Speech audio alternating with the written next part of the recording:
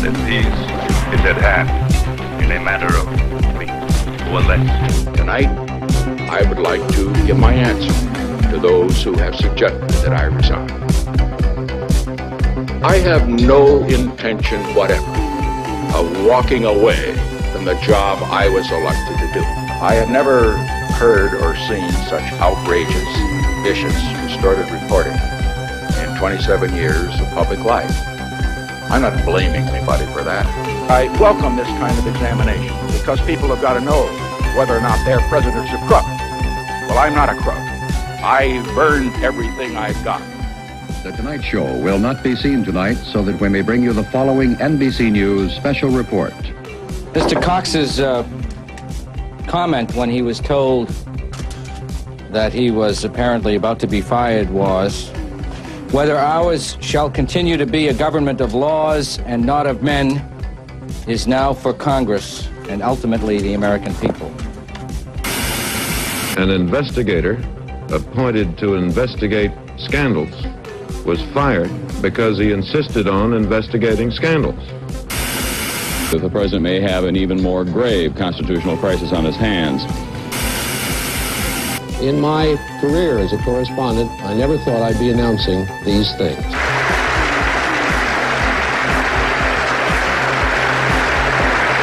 Thank you very much. Ladies and gentlemen, thank you. An astonishing thing is happening here. He is getting an applause, not necessarily from the reporters, but from the Justice Department employees who are, as you see, lining the balcony. This is unusual.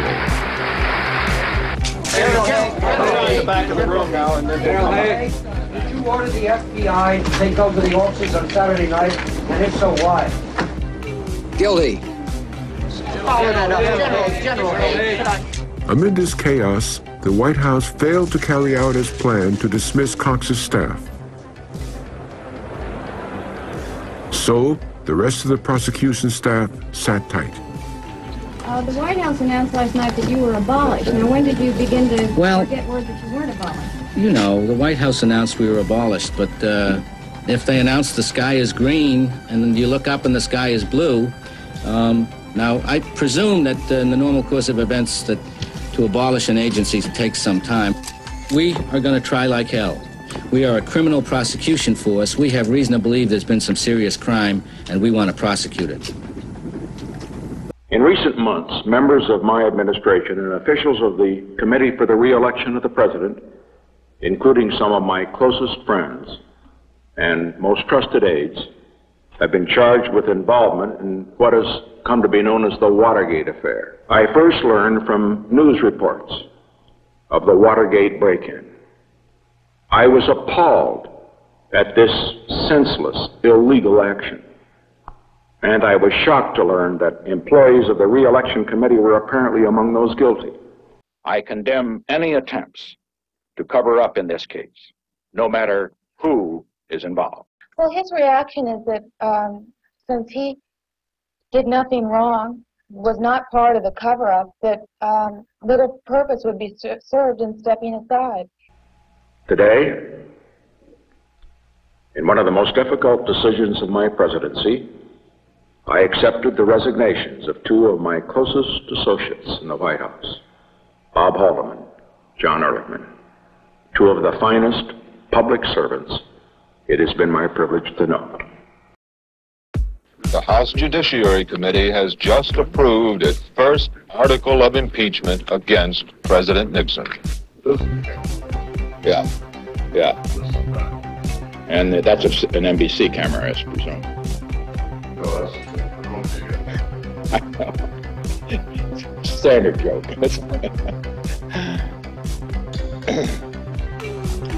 Let me see that. Me get these lights properly. You know, my eyes always have a little fine as I get past 60. That's enough. I have never been a quitter. To leave office before my term is completed is abhorrent to every instinct in my body. I don't believe that I ought to quit because I'm not a quitter. And incidentally, Pat's not a quitter. After all, her name was Patricia Ryan and she was born on St. Patrick's Day, and you know the Irish never quit. I shall resign the presidency effective at noon tomorrow. But the greatness comes and you're really tested when you take some knocks, some disappointments, when sadness comes. Because only if you've been in the deepest valley can you ever know how magnificent it is to be on the highest mountain. My fellow Americans, our long national nightmare is over. Our Constitution works. Our great republic is a government of laws and not of men. Here, the people rule. The apparent certainty of the president's imminent resignation raised two big questions on Capitol Hill. What to do about the impeachment, and should Mr. Nixon be granted immunity from criminal prosecution? Bruce Morton reports on the House. Some members of Congress say that unless the president's resignation includes some confession of guilt, the impeachment process should continue. But that decision is up to the leaders of the House. I feel if the president resigned, that should be the end of the impeachment proceedings. This should put an end to, to the to the Watergate affair as an issue involving uh, incumbent public officials. Former White House Chief of Staff H.R. Haldeman found guilty today on five counts in the Watergate cover-up trial. Former White House Domestic Affairs Advisor John Ehrlichman, four counts, guilty. John Mitchell, former Attorney General and head of the Nixon Re-Election Committee, five counts, guilty. Robert Mardian, former political coordinator for the Re-Election Committee, one count, guilty. Kenneth Parkinson, lawyer for the Re-Election Committee, two counts, the only defendant found not guilty. The verdict came two and a half years after the Watergate break-in and 13 and a half weeks after the trial began. In those weeks, more than 12,000 pages of transcript were accumulated as more than 80 witnesses appeared, and 34 of those famous White House tapes were played. CBS News correspondents Fred Graham and Jed Duvall were at the trial from its beginning October 1st until its end late today. Fred, first, what about the case against H.R. Haldeman? Well, the case against Haldeman was the strongest of all because as Richard Nixon's right-hand man, he was the one most often recorded on the tapes, and they destroyed him. The most damaging was the conversation with Mr. Nixon on June 23, 1972, in which they agreed to use the CIA to block the FBI's investigation of Watergate. It was enough to force Richard Nixon from the presidency, but Haldeman told the jury they didn't do it to cover up Watergate, but just to avoid political embarrassment.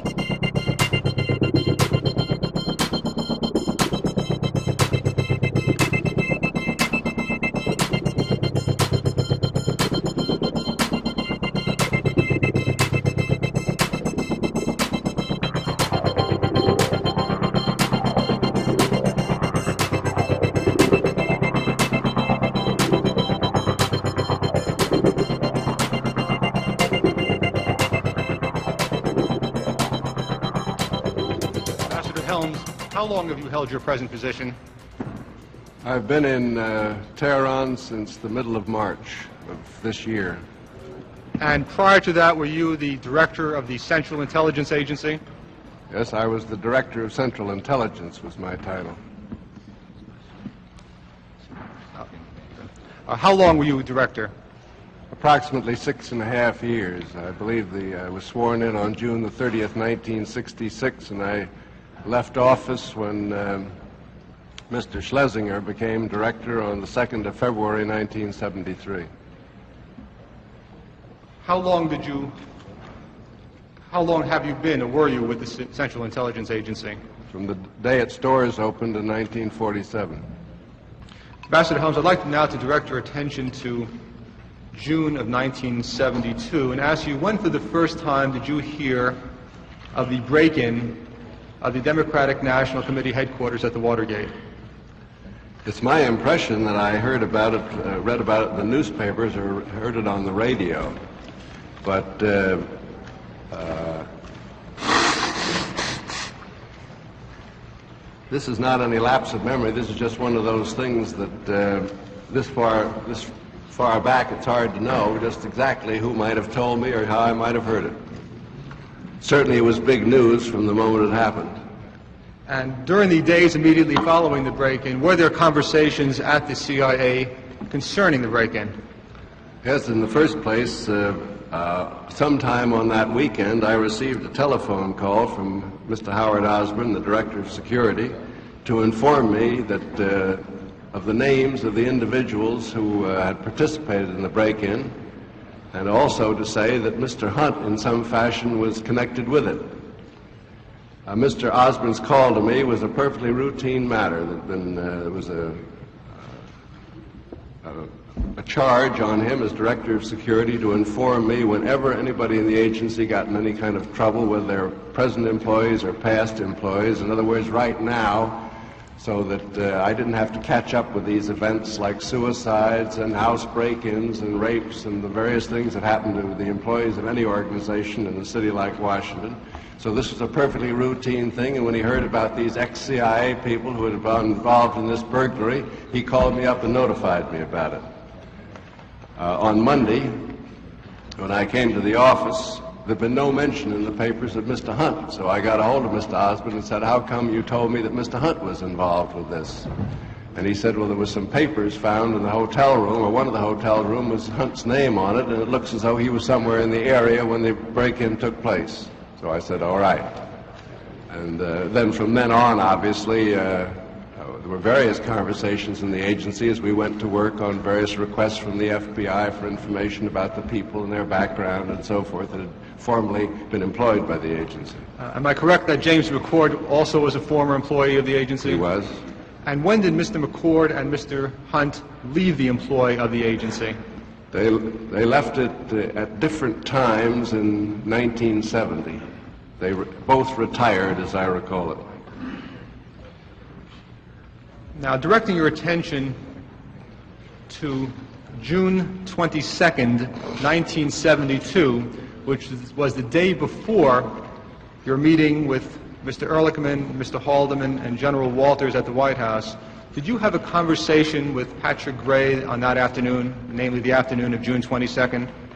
I believe that the committee is in possession of a memorandum which says that, or a memorandum or a note from Mr. Gray that says I had this conversation. I have no reason to question that at all. I was talking back and forth with Mr. Gray at various times in connection with this uh, uh, Watergate break-in, so I have no reason to doubt that there was one on the 22nd of June. Uh, in these conversations, did you discuss the possibility of CIA involvement in the break-in? I assured Mr. Gray that the CIA had no involvement in the break-in, no involvement whatever. And it was my preoccupation consistently from then to this time to make this point and to be sure that everybody understands it. It doesn't seem to get across very well for some reason, but the agency had nothing to do with the Watergate break-in. I hope all the newspapermen in the room hear me clearly now. Uh, Mr. Ambassador, uh, what were Hunt's areas of, of work at the CIA? Senator Gurney, he was with the agency for many years and had uh, a variety of assignments. You might pull that mic Oh, I'm sorry, I didn't move it over for you. I beg your Thank pardon. you. I had a variety of assignments, and I honestly think it would be putting my memory to too much of a test to remember what they all were. I remember there was one that he had some assignment in connection with the uh, operations leading up to the so-called Bay of Pigs. But this is readily available in the agency. You could get his personnel record, and then it would be accurate. Oh, I'm not interested in a detailed account. I wondered if his areas were in the sort of work that he was doing on June 17th.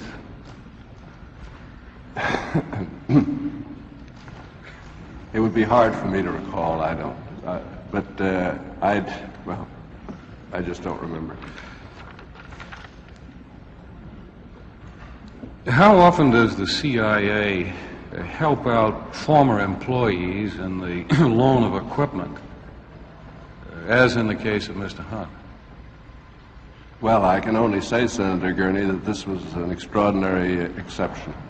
And it was done because we had been asked to do it by the White House. Has it ever been done before, to your knowledge? Not to my knowledge. Well, has it, do you think it has been done before without your knowledge? This is always possible, Senator Gurney. It's a large organization. I would hope not, but I can't say that it had never been done. No, of course But not. at least no other uh, CIA person has said to you that, yes, we did this on some other occasion with so-and-so. I don't recall that having been said to me. Well, since this was such an unusual request, uh, why did the uh, CIA go ahead and, and cooperate with Hunt? Well, General Cushman had already authorized this, uh, as I understood it at the time, on the basis of uh, Mr. Ehrlichman having uh, asked that the agency help. At that time, uh, as I recall it, uh, he was Mr. General Cushman was simply told that this was for him to conduct an interview. We had no way of knowing whether this was an interview in the United States or an interview overseas. It had already been done by the time I learned about it, and uh, the. Uh, What, what was your reaction when Cushman told you? Well, I was not uh, pleased about it because I didn't quite understand why it was that he couldn't have acquired these things someplace else. Well, I must say that same thought occurs to me. If these were routine uh, items of apparatus, uh, the White House certainly would have resources enough to get those themselves. I would have thought so, Senator Gurney. I have uh, learned, uh, I learned when I uh, came back here in May that there were some other things given to him, such as a voice changer or something, and I believe a wig has become uh, almost legendary in this whole matter, but I don't recall anything about the wig at the time, but I don't question that it was done. I, Even though Nixon had stepped aside, the Watergate scandal was still in the news. The New York Times published an article on the 20th of February 1976 entitled Helms Won't Face Break In Charge, which stated that Assistant Attorney General J. Stanley Pottinger, head of the department's Civil Rights Division, said he and other officials had carefully weighed evidence to prosecute Mr. Helms for a civil rights violation. However, Mr. Pottinger told a news conference his congressional testimony is under review for possible perjury charges. With a Nixonian man like Pottinger in charge, the former director of the CIA, Richard Helms, appeared safe from prosecution over Watergate. Helms had also denied to the Senate Select Committee on Intelligence that CIA had conducted domestic surveillance or supported political foes of the late President Salvador Allende Gossens of Chile. In the latter New York Times article, it reads Mr. Pottinger defended the decision not to prosecute Mr. Helms and others involved in the burglary of a photo studio in suburban Fairfax City, VA. That was partly owned by a CIA employee. I had the lead responsibility in the case for the last few months, Mr. Pottinger said. We have spared no resources, no time, and no effort. I myself interviewed Mr. Helms. In fact, Mr. Helms was probably delighted to have been interviewed by J. Stanley Pottinger, a man with an abundance of links to the CIA. But there was still even more to discover about J. Stanley Pottinger's involvement in Watergate. In 2005, Bob Woodward, one of the original Washington Post journalists to unravel large parts of the Watergate scandal, released his own book. In The Secret Man, Woodward doesn't only reveal the identity of the Washington Post's main source, known as Deep Throat, for Watergate as being the former FBI's Deputy Director W. Mark Felt, he also explained Pottinger's vital role in hiding this information. Woodward explains that in 1976, the then Assistant Attorney General Stanley Pottinger had revealed to him that Felt had given his secret identity away while testifying before a grand jury.